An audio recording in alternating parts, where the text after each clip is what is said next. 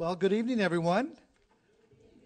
I'm uh, Luis Herrera, the city librarian here in San Francisco, and it's really my pleasure, and my honor to welcome you to the fifth inaugural address by our fifth poet laureate, Diane di Prima. Hooray, hooray. It truly is, as I mentioned, a pleasure to welcome you here, and I am absolutely delighted that the library is the centerpiece of the Mayor's Poet Laureate program because we have a very strong tradition of literary programs, and from my perspective, uh, the Poet Laureate initiative enhances and complements uh, what the library does. We're also very proud of the fact that we have a lot of partnerships with bookstores and uh, authors and poets out in our city that really celebrates that amazing legacy that we should be so proud of here in San Francisco uh, in terms of promoting uh, literary events, but also books, uh, and certainly tonight, poetry. So we're delighted uh, that all of you could join us for uh, this great event. Um, as city librarian, it's been also my pleasure to serve on the 12 member selection committee that vets the uh, nominations and we submit our recommendations to the mayor. I'd like to thank the members of the committee, and I know some of them are in the audience, so I want to take a moment to acknowledge folks that have joined us. Bob Booker, I know is here. Uh, Robin Ekis. Bob, where are you? You can acknowledge us. Thank you for joining us. Uh, Robin Ekis, Mike Farah, Jewelle Gomez, who you'll hear from later, Forrest Hammer, Jack Hirschman, Joyce Jenkins. Joyce is also in the audience. I know I saw her earlier. Uh, James Cass, Janice Mirikitani, I know is also here.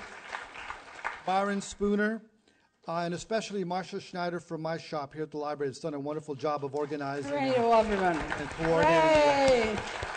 Yay. Yay. We have an amazing legacy of poet laureates, and so I want to take a moment to sort of walk us past some of the history, uh, beginning with our first poet laureate, who was none other than Lawrence Ferlinghetti, uh, appointed by Mayor Willie Brown. He served from 1998 through February 2000. And just to give you a sense of the legacy, they're, they're remarkable in what they've done. Um, in his role, he wrote an ongoing poetry column, Poetry as News, in the San Francisco Chronicle. And uh, through his City Lights Foundation, he also initiated a series of commemorative books of poems by each successive poet laureate. So we look forward to our next series of um, wonderful works. Our second poet laureate was Janice Mirikitani, who is also in the audience. I'd like to acknowledge her.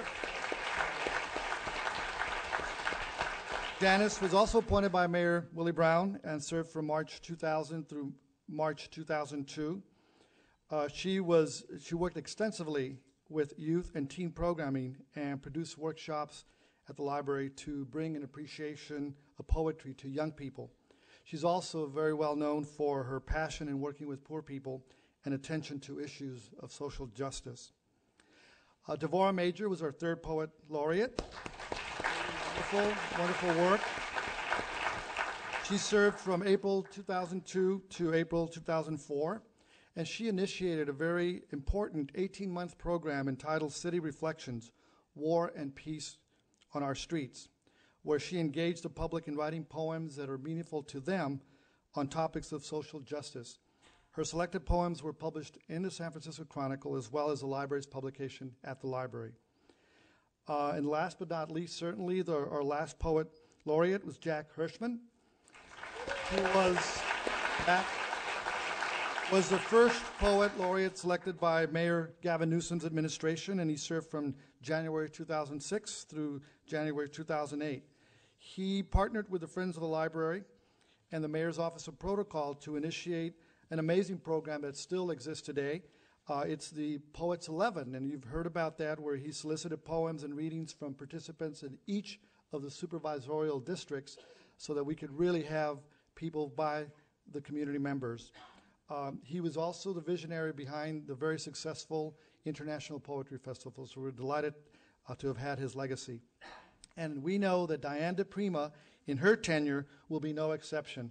Uh, we had a wonderful conversation. She uh, perhaps will tell a little bit about some of her ideas, but I know she's already been working in conducting workshops for children on poetry and uh, appreciation uh, in our neighborhood. So we know that this model will hopefully be expanded throughout the city. And now it's my pleasure to welcome to the stage our Library Commission president, a poet in her own right, uh, Jewelle Gomez, who will do the honors in introducing our poet laureate.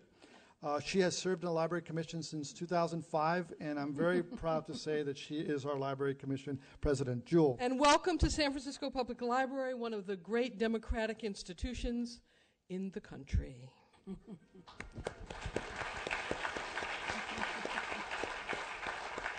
the year was 1958, and the world was turning on its axis, like normal, except nothing is ever like normal where the world is concerned. Remember 1958? Fidel Castro declared victory over the Cuban dictator Fulgencio Batista. Elvis got drafted into the army. 30 million people died in the famine in China. Arthur Miller refused to name names at the House Un American Activities Commission. Iraq ended its monarchy and became a republic, and Alaska became a state. The first New York City chapter of the lesbian liberation organization Daughters of Bilitis was founded. Remember 1958? Only one year before, the Supreme Court declared that women were equal enough to serve on juries, and birth control was still two years in the future to be approved by the FDA. President Eisenhower initiated Operation Wetback to stem immigration of Mexicans. The U.S. government disappeared 60 Native American nations from the government rolls. Nikita Khrushchev became premier of the Soviet Union. 1958 and separate water fountains for blacks and whites were still the norm in many communities. And Bethel Baptist Church in Alabama was bombed by the KKK. Poet Ezra Pound was released from the lunatic asylum. Appointment of the first Chinese American judge on the continental U.S. was still a year away. Our favorite songs were by Bobby Darin, a rediscovered Woody Guthrie, the Platters, Ritchie Valens, the Chipmunks, and Frank Sinatra. we were watching Gunsmoke on TV and reading Lolita. Or we were playing with that new invention, the hula hoop. 1958, Allen Ginsberg and Lawrence Ferlinghetti were acquitted of obscenity charges because of the production of Howl. San Francisco was in the movies in Hitchcock's Vertigo, and women were in the movies either as Auntie Mame, Gigi, or a cat on a hot tin roof. Remember? Remembering is a revolutionary concept, a path from here to there, a path we cannot afford to ignore. She asks us to remember. The world I evoke is the one into which came the first collection of poetry published by Diane di Prima. This kind of bird flies backward, which you could pick up in 1958 for 95 cents and worth every penny. 43 books later, Diane di Prima has distinguished herself as a poet and teacher in, Bay, and in the Bay Area and across the nation. Best known for affiliation with the Beat Poets of the 1950s and 60s, a movement of writers that questioned how the world was turning on its axis, and a movement that sought a personal relationship with the universe rather than dependence on a mainstream definition of who we are. That movement grew out of and set the stage for and complemented many of the progressive political movements that surrounded it and that followed it. Diane survived and thrived being identified with a movement. Her reach goes into the future just as that movement would have hoped. Di Prima's writing has been translated into more than 20 languages. She's been the recipient of awards and fellowships from institutions such as the National Endowment for the Arts and the National Poetry Association and received the Fred Cody Award for Lifetime Achievement. The greatest testimonials to her work might come, though, from her students. Who in here has studied with Diane? There you go. there you go. There you go. Hi, guys. She shared her knowledge of writing and spiritual traditions over the past 40 years with students a, at a broad variety of educational institutions, including many of them out here the California, California College of Arts and Crafts, New College, where she helped establish with David Meltzer the Masters in Poetic program, where I got the joy of, of teaching. San Francisco Institute of Magical and Healing. She has read her work at more than 300 institutions around the world.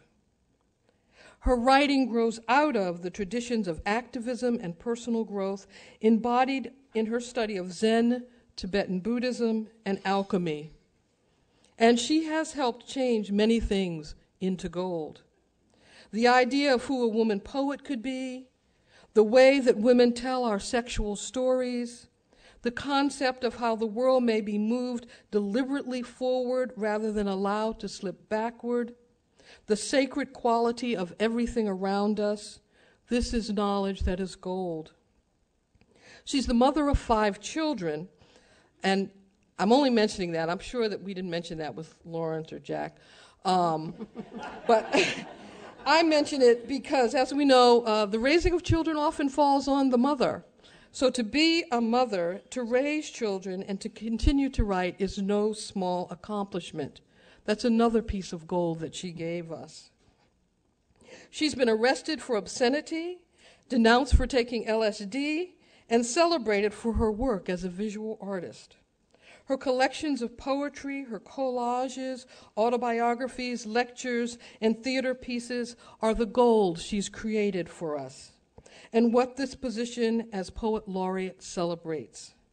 And her new works will add to that treasure. And so many others never tired of celebrating her. Adrienne Rich called her Loba poems a great geography of the female imagination. Maxine Hong Kingston calls her work primal magic. Peter Coyote called her bona fide rootstock. I love that. Allen Ginsberg called her a genius. I celebrate our newest poet laureate by quoting di Prima herself. This then is the gift the world has given us. Diane di Prima. Oh, thank you.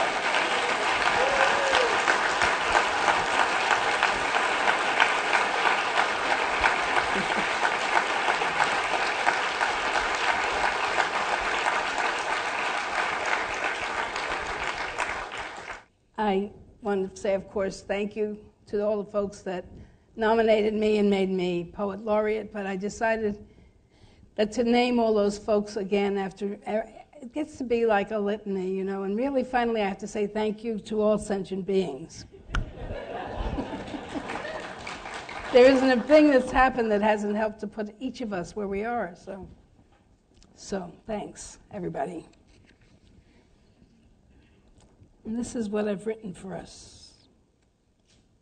When I came to San, I should put my glasses on. I'm, I tend to see right for a while, and then this starts to be double or fuzzy or runs backwards or forwards. Or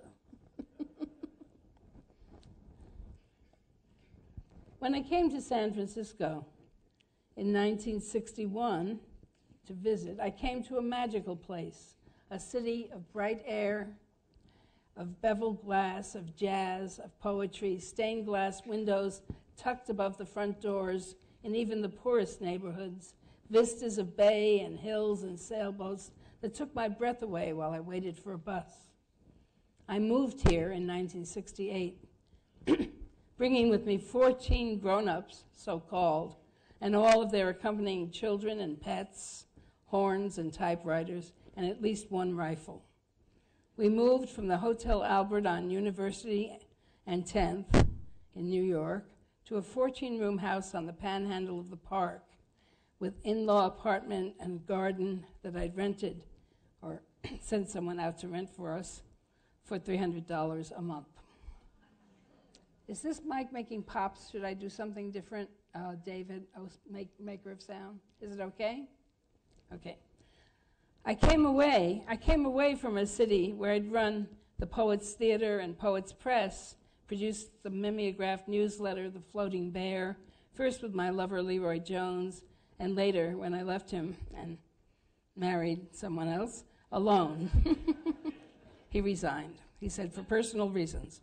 But it was a city that had by that time grown too harsh, too hard to live in. A city in which I'd seen too many deaths. I came here to new dreams, to a choice to be active, to actualize what in New York I'd only been able to write about.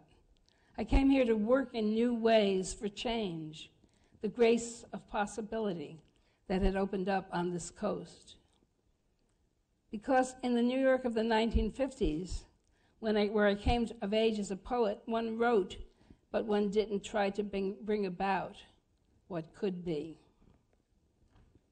And I have a note here to read a poem, which I didn't note. I didn't mark in my things ahead of time, but I have here. It's called Song for Baby-O, Unborn.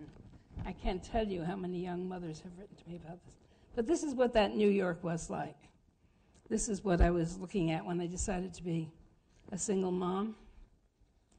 Song for Baby-O, Unborn, written for Jeannie, my oldest, probably in early 1957. Sweetheart, when you break through, you'll find a poet here not quite what one would choose. I won't promise you'll never go hungry or that you won't be sad on this gutted, breaking globe. But I can show you, baby, enough to love, to break your heart forever.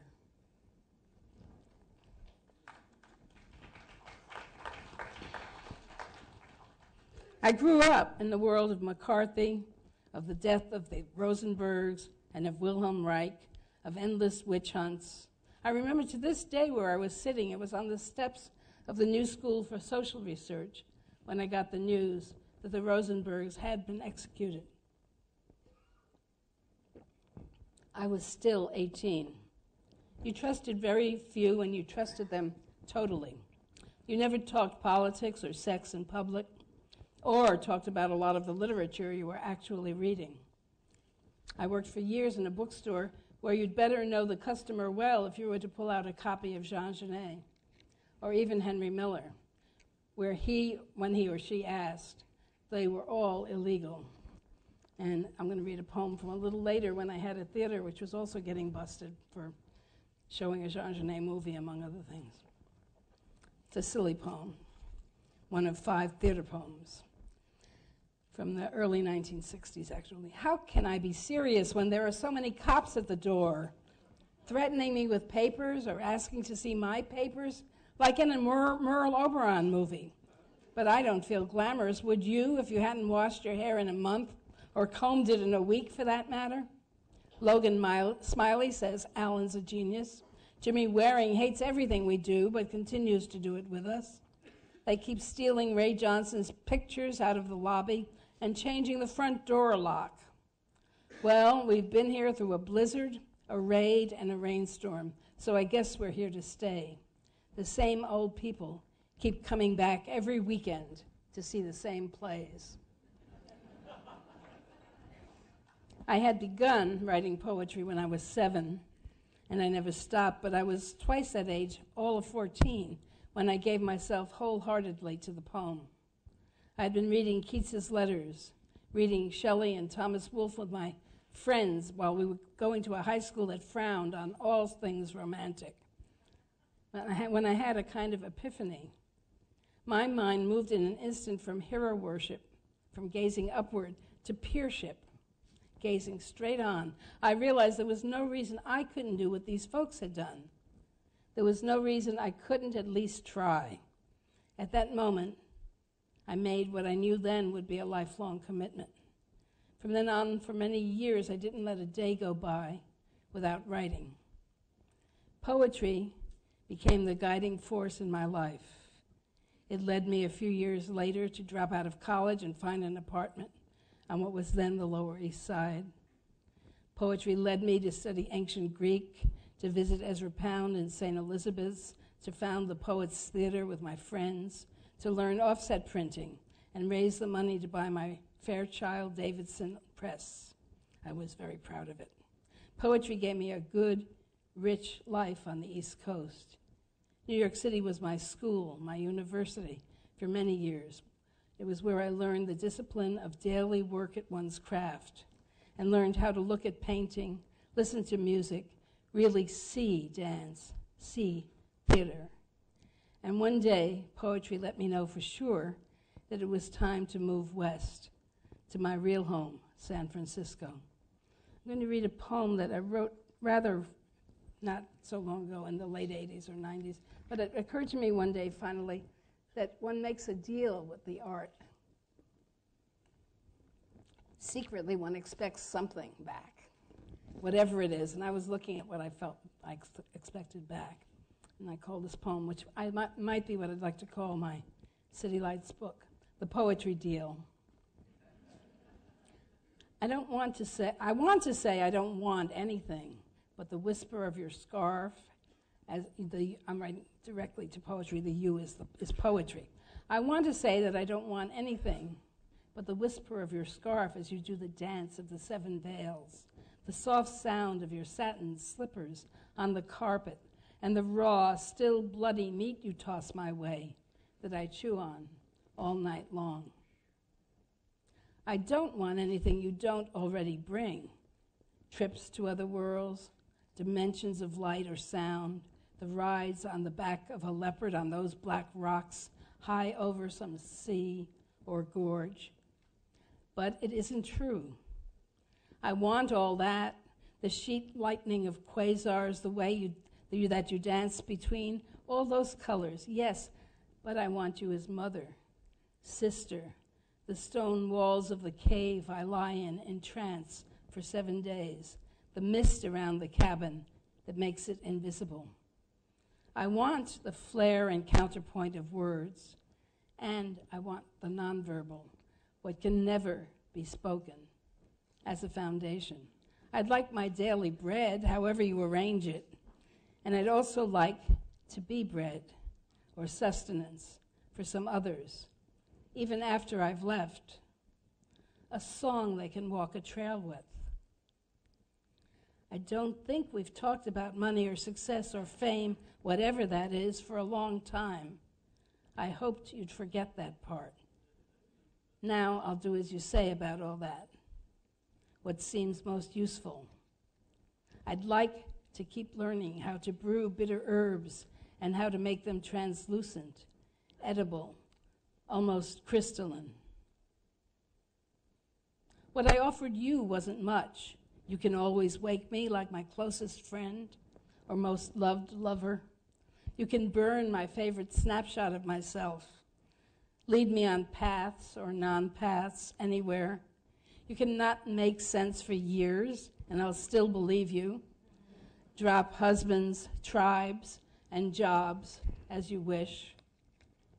You mostly aren't jealous, have taken your place alongside gardens, bread making, children, printing presses. But when your eyes shoot sparks and you say, choose between me and it, it has always gone, except when it was my kids. I took that risk and we worked it out somehow.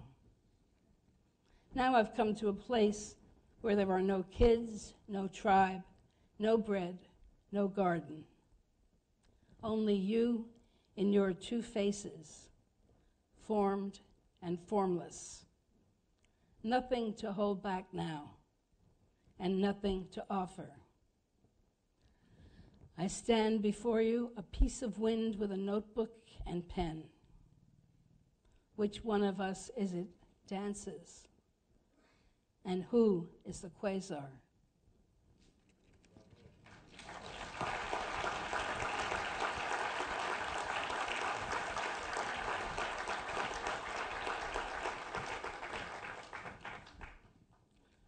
Actually, 1993, it says on the end of that poem. I was wrong about the 80s. San, the San Francisco that I came to in 1968 was welcoming and sweet as it was tough and scary. Your writing helped bring all this about, Peter Berg had said to me two months earlier. I was then in San Francisco on a reading trip, staying with Lenore Kandel. Now, he said, come and enjoy the fruits. It was hardly that simple, and I knew it.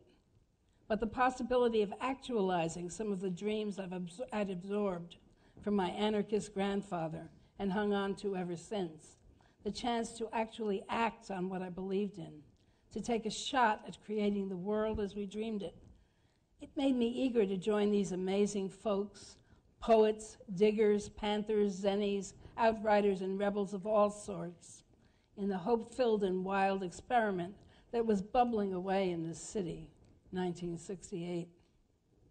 My way was made easier by many. Lawrence Ferlinghetti and Nancy Peters at City Lights advanced money on the revolutionary letters I had yet to finish. Michael and Joanna McClure, Lenore Kandel, Peter Coyote, Kirby Doyle and Dee Dee Merrill, Lee, Lew Welch, Marilyn Rose, the folks at the Oracle, many, many others made it clear that I and my sprawling and nondescript tribe were welcome here. That there was plenty of work to do and plenty of room for all of us. Back in New York, my friends and I indulged in some creative financing, spurred on by the many assassinations in the news. Remember? Remember 1968? And a general sense of urgency in the air. I returned from that reading trip to San Francisco I returned from the reading trip from San Francisco to New York in April, and by summer solstice, we were all ensconced in our newly rented house on Oak Street. Revolutionary letter number four. Left to themselves, people grow their hair. Left to themselves, they take off their shoes. Left to themselves, they make love sleep easily, share blankets, dope, and children. They are not lazy or afraid. They plant seeds. They smile. They speak to one another. The word coming into its own. Touch of love on the brain, the ear. We return with the sea, the tides. We return as often as leaves, as numerous as grass. Gentle, insistent, we remember the way.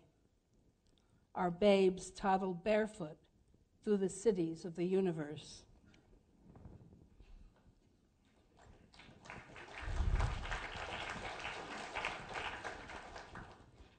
The diggers immediately put us to work. My household was responsible for delivering free, free food to 25 urban communes twice a week and free fish, which was available on Saturday mornings only. Friday was fish day in this still Catholic city. Meanwhile, I was writing revolutionary letters at a fast clip, mailing them to Liberation News Service. From there, they went out to over 20, I mean 200 free newspapers all over the U.S. and Canada. I also performed them sometimes with a guitar accompaniment by Coyote, on the steps of City Hall, while my comrades handed out the digger papers and tried to persuade startled office workers on their lunch breaks that they should drop out and join the revolution. I had a good friend, an old friend of Will Geer, Woody Guthrie, Pete Seeger, and a barefoot potter, a communist millionaire, who had a ranch near Mariposa. He joyfully supplied us with sides of beef and whole sheep for our larger viands and other shindigs. I made a few overnight trips in a pickup truck to bring home the goodies for those occasions. I'm going to skip the next revolutionary letter that I was going to read, but I'll read the beginning of it. just so you get the sense. Otherwise, we won't have time for everything. Drove across San Joaquin Valley with Kirby Doyle, grooving, getting digger, free digger meat for Free City Convention, grooving behind talk of Kirby's family, been here a long time, grooving, friendship renewed, neat pickup truck. We stopped at a gas station. Man uptight at the sight of us, sight of Kirby's hair, his friendly loose face, my hair, our dress, man surly, uptight. We drove away, I'll read it, brought down across fields of insecticide and migrant workers. And man, I said, that cat's so uptight. What's he so uptight about? It's not your hair, not really. It's just what the TV tells him about hippies got him scared. What he reads in his magazines got him scared. We got to come out from behind the image, sit down with him, and so on. You get the idea. It was good times. For a time, the free bank lived on top of my refrigerator. It was a shoebox full of money. I never knew how much was in there. I didn't really care. Anyone who needed cash could come by the house and take some. Anyone who had extra that they didn't need, and there were many, rock musicians, dealers, among others, would drop some off. The whereabouts of the free bank rotated from one digger house to another, but the bank itself was solvent. The shoebox was full for at least six months that I know of, which is proof enough for me that such institutions are possible. San Francisco was, yeah. also, that we might as well print our own money and forget about them altogether. San Francisco was then and still is for me the place where you can take your dreams into the street and make them happen, make change happen. I wrote this next letter I want to read, revolutionary letter. I wrote it on um, in a truck as I was going from Tassajara Hara to um, a demonstration read that I had been asked to read at at UC Santa Cruz. It was when we had started bombing Cambodia. Many of you children don't know what I'm talking about. That's okay. Someone will explain. San Francisco note. I think I'll stay on this earthquake fault near this still active volcano in this armed for- fortress facing a dying ocean and covered with dirt while the streets burn up and the rocks fly and pepper gas lays us out because that's where my friends are, you bastards. Not that you know what that means. Ain't gonna cop to it, ain't gonna be scared no more. We all know the same songs mushrooms, butterflies. We all have the same babies. Dig it, the woods are big. Still pretty big, guys. The dig, well, let's see, where am I up to here? I know because I'm told. Is that where I'm up to? Pages have gotten mixed up. Yes, that's where I'm up to. I know because I'm told. It's been repeated to me by all kinds of folks. On NPR by Michael Krasny, it's in the paper. it's a fact of life for my younger poetry students that San Francisco, even the Mission, the Western Addition, and so on, is too expensive for young artists. That dancers, poets, musicians are moving somewhere else. And every once in a while, I read the paper and realize how much of my city is now run by the Unfun Party. That's spelled UN hyphen P H U N. I call them the Unfun Party. The Surrealists call them the Miserablists. they can be Democrats, Republicans, radicals, it doesn't matter.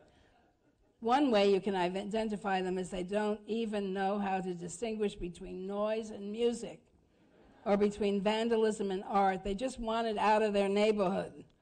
They are afraid people might be having a good time. The Unfun Party has unfortunately gotten very big in San Francisco. It can now be found on many boards and planning commissions.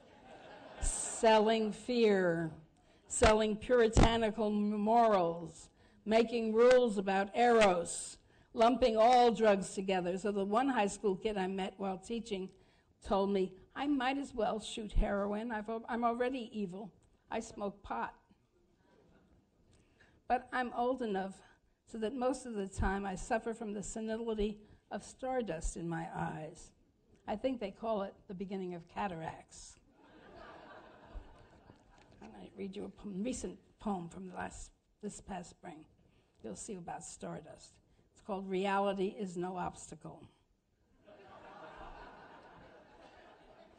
refuse to obey, refuse to sleep, refuse to turn away, refuse to close your eyes, refuse to shut your ears, refuse silence while you can still sing, refuse discourse in lieu of embracement, come to no end that is not a beginning.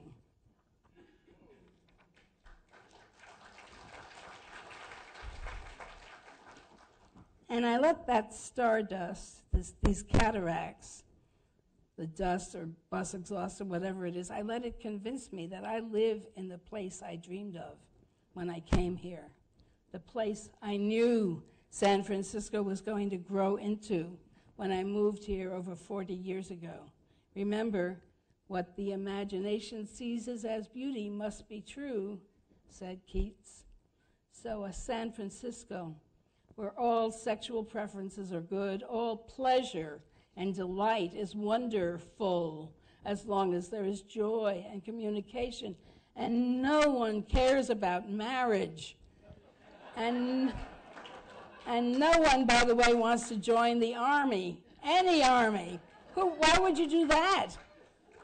Where no drug is criminalized, though some are more useful than others and addictions are treated benignly and without judgment, where everyone is taught how to use psychedelics, even how to use pot, just as one is taught both safety and pleasure in sex education. And the mass psychology of fascism by Wilhelm Reich is required reading in high school. in the fifth grade, kids memorize the Declaration of Human Rights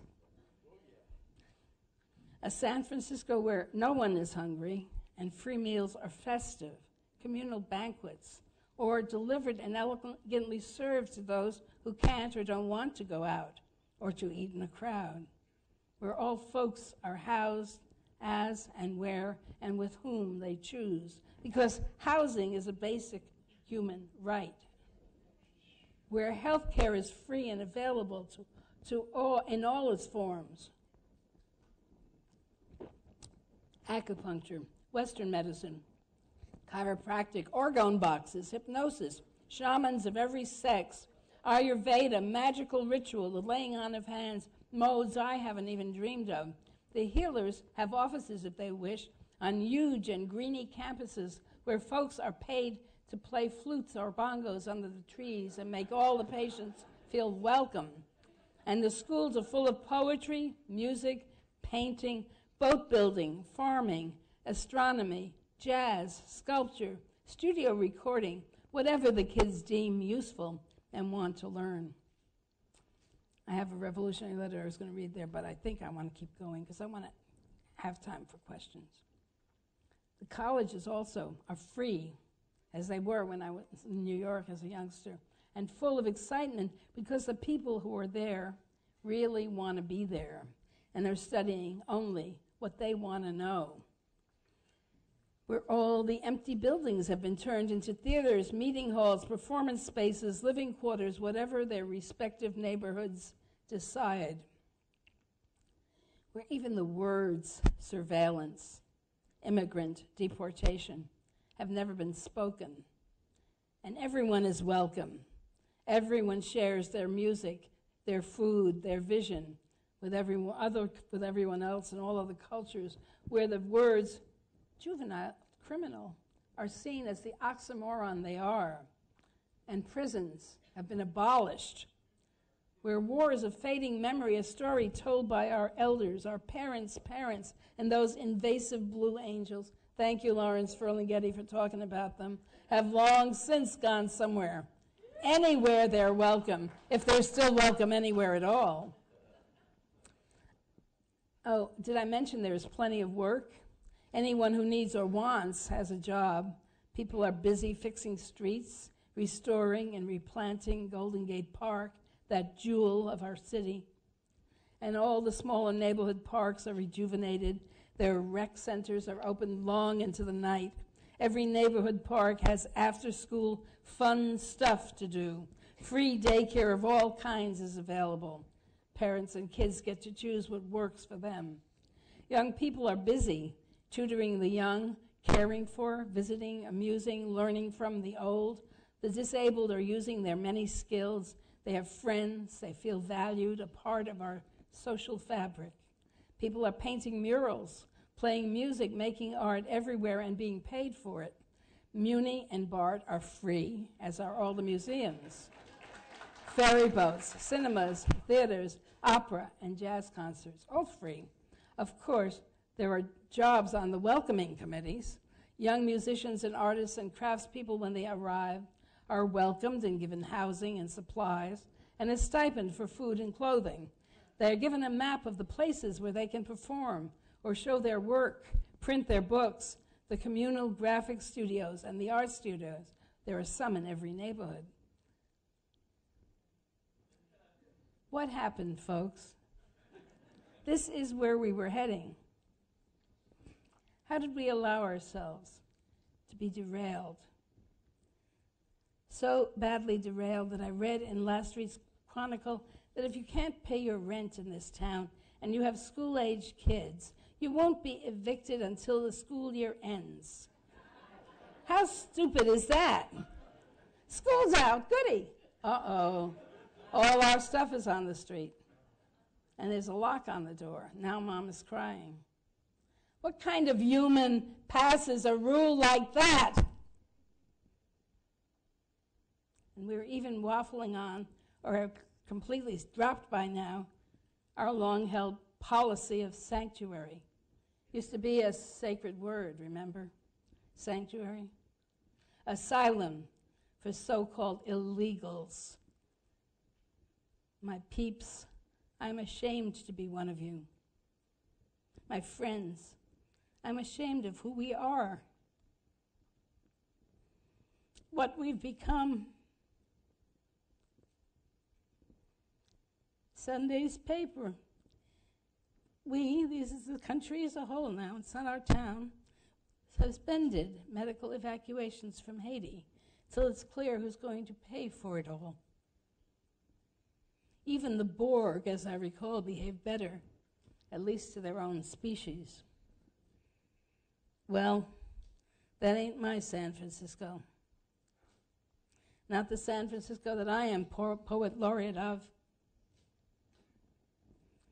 That's San Francisco. City of sunlight, bounced off ocean and bay. City of kindness, of people who have time.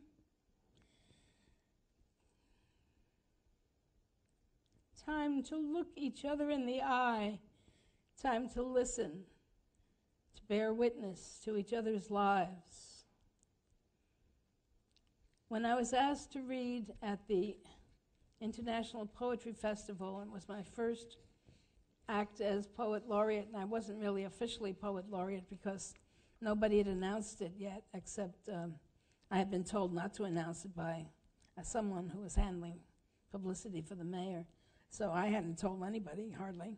Um, and they, they were going to handle the publicity, and then there wasn't any. Uh, so when I was asked to read there, I wrote a first draft for my oath of office. I'm going to first draft, poet laureate, oath of office for all poets everywhere. It is the poem I serve, luminous through time, that celebration of human breath, of melos. It is and always has been the muse, androgynous and ruthless as any angel, scattering words that need no radio frequency, no broadband. It is the light on the ocean here and the sky in all its moods, luminous fog that wakes me up to write, and something I call the imp of the short poem. It is the people of San Francisco in their beauty, bright, luminous eyes looking out from homeless faces, looking up from gardening, skateboarding, singing, playing cards, playing ball, barbecuing in their backyards. The folks in the Mission, the Excelsior, in Bayview, Hunters Point, Japantown, North Beach, Ingleside, folks in the sunset working and idle, passionate and angry, silent, powerful in their silence. My friends and neighbors parked at Ocean Beach at Twin Peaks in their cars, watching the sun go down.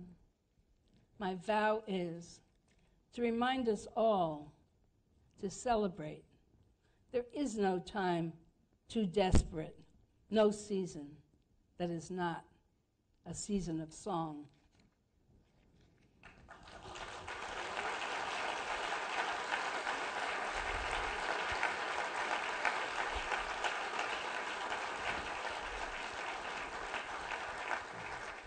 And then, since there was such a long gap between the Mayor Newsom's announcement of his choice of me at the Richmond Library and the date where we arrived at for this talk, I let a few friends know that what this was happening, what, that what was happening, that I was poet laureate by staging a small, silly, and surreal swearing-in ceremony for my 75th birthday. I had the collected works of John Keats to swear on. And this is the oath I wrote and Ron Turner administered. So I read the, I read the first part and then he began, and I'll tell you where he began. First part is In the name of Tara, most bountiful, most holy, all powerful mother, indwelling in every being. And then he began Do you, Diane di Prima, accept? I accept the office of Poet Laureate of the City of San Francisco and will do all in my power in this magical city to guard and honor and propagate poetry of all kinds for all people in all walks of life and remind them to celebrate the world in all its mystery. And after he administered that, I read the last part. Every vision is holy. The power of imagination is vast. And poetry, poetry guards the old roads and opens new ones. Every day, the poem cuts trails into the realms of gold, the alchemical gold of the mind. So I've already taken that oath. In keeping with that, I thought I'd share just a few of my plans, what I want to do as poet laureate, a little bit of what I, I cut out a lot of this, because I want to, by seven, be talking with you people. I want to invite poets and, and people, all the poets and people of San Francisco, to many celebrations. We're so rich, we have a diversity of peoples, languages, diversity of poetries, oral and written. Um, I'm hoping to bring poets of every school together, poets from every walk of life, every class, a word that we don't say often enough. I'd like to have poets read in different languages, with and without translation, with and without visuals, whatever. So, um, to start off with, I have arranged to have this space on March 9th to celebrate International Women's Day. Janice Mirikitani, Devorah Major, Priscilla Lee, Nina Serrano, and Michelle Tea will all read to honor International Women's Day, which I think it's about time the Bay Area noticed. Even in the Midwest, I went to, there were three readings I was invited to. The people were celebrating it in Chicago, Detroit, uh, Cleveland, but here, I guess maybe, I don't know. What's the matter with us? I don't know. And I'm in the process of planning a May Day event under the auspices of City Lights. I want to celebrate May Day as one of the four cross quarter days. As you know, today is one also. Candlemas, or however you say that, and so on.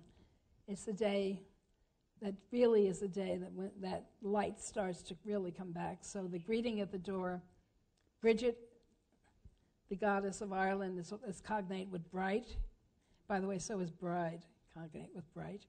Um, and the greeting that people would have at their doors, if you knocked on your friend's door because it was Bridget's Day or whatever you would call it in your part of the world, there was a cradle with a baby made of corn in it by the door. And the greeting was, Bridget has come. And the answer was, Bridget is welcome. So, Bridget has come. The light is returning now. This time is that time of the year. So, I would like to celebrate May Day as a green holiday, a holiday of sprouting things, of children.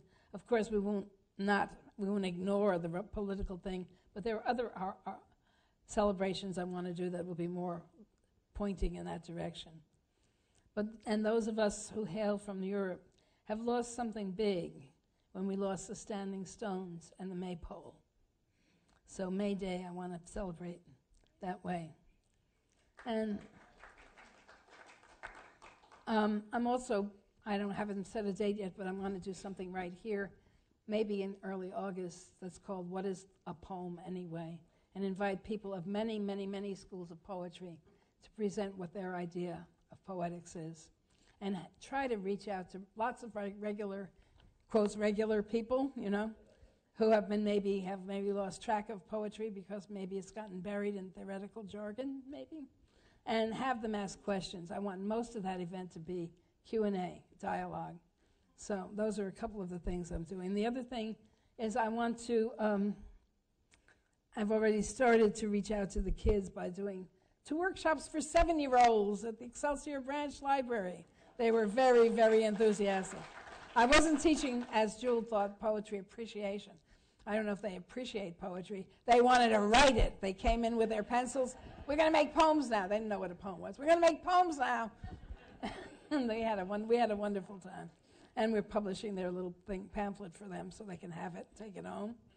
And they have a loose leaf with all their little original index cards with their lines. We were doing group poems, line with a color or a line with a city street. They have those for their school. Now I'm going to write that up as a model and try to re- go into four different neighborhoods this year and four next. I hope. Um, we'll see. And it's not good to go once. You have to go and then wait a month and go again so the kids really get it remember it. And if there's any budding writers around it, they'll, they'll stay with it after that. I want to do little ones, I want to do bigger ones, all those kids. Um, and I plan to keep in touch with any teacher like the one that brought these kids in, or a librarian who wants to go further with it so that by email I can supply them with other exercises to do or general advice if they need that. And I just want to say that from 1971 to 78, I worked for the NEA as a poet in the schools all over the West. I taught, I started in Wyoming, and I taught every level from preschoolers to college students. I was a lot in juvenile halls, reform schools, jails. I was on reservations, my reservation schools, and also BIA boarding schools, which would have, in the 70s, were like to break your heart. And I'd like to share the experience I got by doing these kind of workshops here in my hometown. So then also if my energy and time permit and my health allows, I'm going to like to take poetry also to the older folks in senior centers and other such facilities. But I have to remember that I myself am an older folk. And sometimes my body has to insist that I remember. If all goes well in this year with the young people, I hope to also go to some senior centers next year. Um, and read an older poem, an older folk poem that I wrote recently. It was to some friend. I was teaching some poets who were mostly all dead, who used to live in Venice, California, and and Denver, a whole bunch. There was an axis from Denver to Venice, and I wrote them this then. A good day too. It is with my whole heart open, no pain in it. I celebrate lost brothers and sisters what joy! We lived riding war ponies straight into the sun. So I want to say that even with my even without my limitations, what I can do in two years is very little, measured against the dreams we had of what could happen and what the city could be, what it could bring in terms of poetry, art, and so on, into all its people and by extension to the world. Jack, Devorah, Janice, Lawrence, they brought poetry back into people's lives here in many ways, as Luis reminded you. I, to take just one example, I know we all hope that the International Poetry Festival that Jack started will continue far into the future. But, yeah, yeah.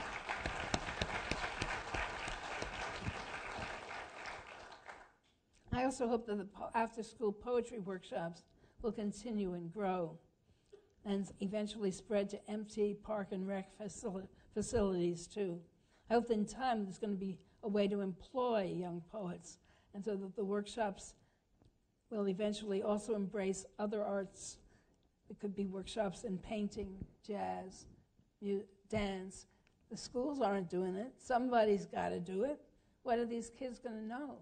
How are they going to find their way of being, and of expressing who they are?